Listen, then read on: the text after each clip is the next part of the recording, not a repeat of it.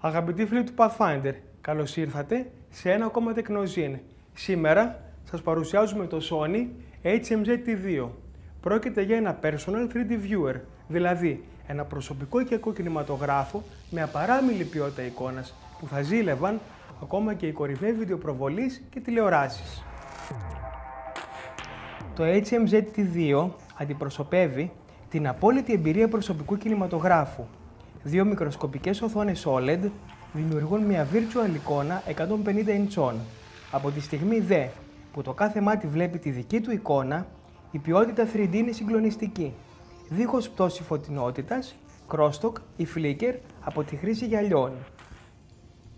Το Personal 3D Viewer της Sony είναι αρκετά πιο ελαφρύ και άνετος στη χρήση από το προηγούμενο μοντέλο. Ωστόσο, χρειάζεται αρκετούς πειραματισμούς για να επιτύχει ο χρήστης την πιο άνετη προσαρμογή στο κεφάλι του. Η σύνδεση του viewer είναι παιχνιδάκι. Υπάρχει απλά μία είσοδος και μία έξοδος HDMI και η έξοδος της κεντρικής μονάδας προς το headset. Σε συμβατικό υλικό 2D, το HMZ-T2 διαθέτει εκπληκτική ποιότητα εικόνας, εφάμιλη με αυτήν μιας κορυφαίας τηλεόρασης πλάσμα.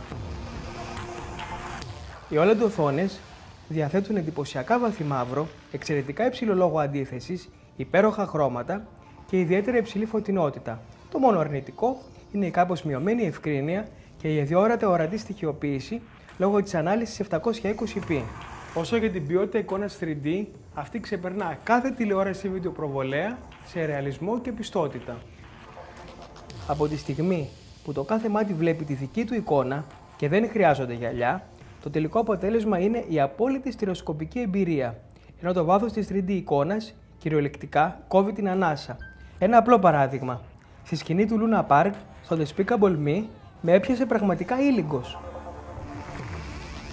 Το Sony Personal 3D Viewer αποτελεί απόλυτα προσωπικό gadget, το οποίο όμως δεν μπορούμε να απολαύσουμε με την παρέα μας.